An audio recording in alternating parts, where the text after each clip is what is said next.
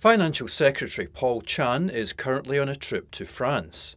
On Monday, he visited two leading enterprises in Paris, touring their research and development facilities. Both firms are seeking to expand their business in the Guangdong, Hong Kong, Macau Greater Bay Area, elsewhere in the mainland and in other parts of Asia.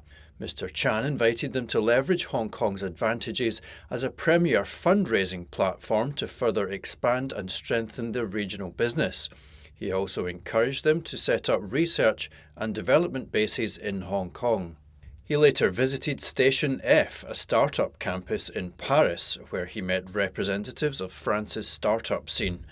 Mr. Chan stressed that startups in Hong Kong and France have an opportunity to enhance business ties and cooperation.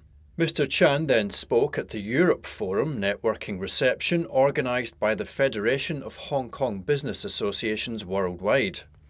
He also met with a young Hong Kong ballet dancer, the first ever Chinese ballet dancer with Opera Nationale de Paris, and with a group of young Hong Kong musicians and cultural sector workers based in Paris.